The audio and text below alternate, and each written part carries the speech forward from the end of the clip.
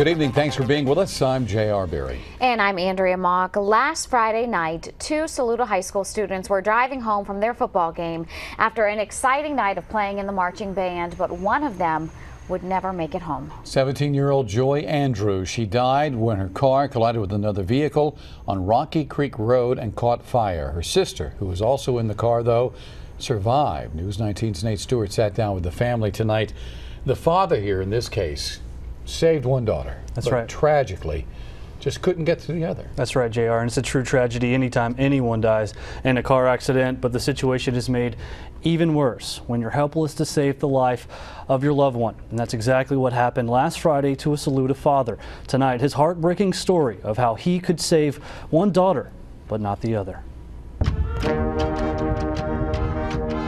It's the fourth game of the season. Friday night, Saluda football, nothing better. The drumbeat of the student band fills the stands as the Tigers take on Branchville. It's just energy in the air. Hundreds in the community turn out for the game and halftime festivities.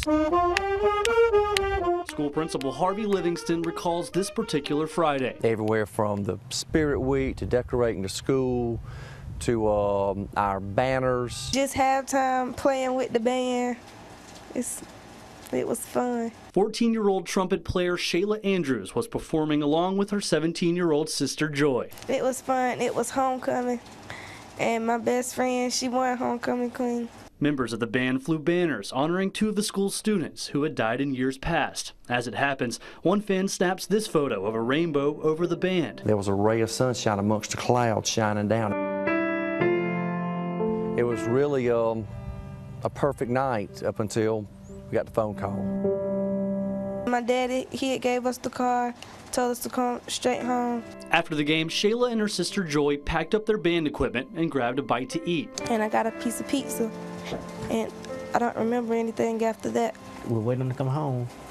And we're just here waiting. The girl's father, Ernest Andrews, says that a neighbor knocked on the door saying there'd been an accident just feet away from his home. I just took off running because the car was already, it was in flame. And I was just panic. I ran. What Ernest hears next, he says he'll never forget. I hear my baby crying, Daddy. I hear her calling Daddy. And I had to go in there and get her. All I seen was fire. And I know that my car and my babies was in there. Both of my babies was in there. And only thing I know, I got to try to get them out. With the car engulfed, Ernest dives through the smoke and flames and feels a hand. And I start pulling her, and she slipped. So I just went on up in there and got my arms up under her and pulled her out. And then when I went back to get Joye to try to get her out, that's when the car exploded again. When I woke up, I remember, I think I was asking for my sister, and they told me that she didn't make it. She was just the nicest person, and she had a crazy laugh. Like her laugh could brighten up anybody's day, and she had the biggest smile. She was my best friend. She kept me out of trouble more than anything. This wouldn't be the only time tragedy struck the Andrews family. In 2011, a third sister died in a car accident in Florida. Not this. It do not help no better the second time around. But I just did all I could to say this one, and I tried to do my best to say the other one. That's all you can do. And any father would do the same thing. Any father would went up in there and tried to get their baby. My dad, the second child, he got to bury. And I, I know it's hard on them and my mama for them to even have to bury a child. I know it's hard for them, and then the fact that they could have lost both of us. I wish somebody could hit me and wake me up, but it's for real. It's for real. Cut, cut, ready, go. On Monday, a somber band practice ends with students leaving messages for Joye, but it wouldn't be the only one. Nobody will ever forget the smile that she always had. Up in the sky, over practice, Joye's best friend Jamie says it was a sign. Some people took pictures of it, and later we looked at it, and you could see her face in the clouds. We know it was her watching over us. While the empty halls will be without joy and her laughter, family and love is what the Andrews family say will get them through this tragedy. I just do what I think would make her proud. make her happy with me.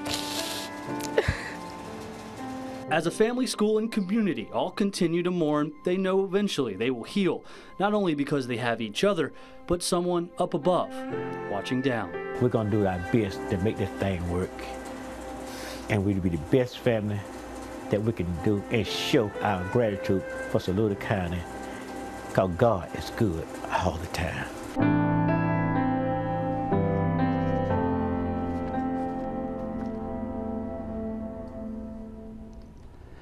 Saluda High School has started selling these t-shirts that say Enjoy Life to serve as a reminder for Joye Andrews and the impact that she left. The school says all donations will go towards helping supplement the family's cost.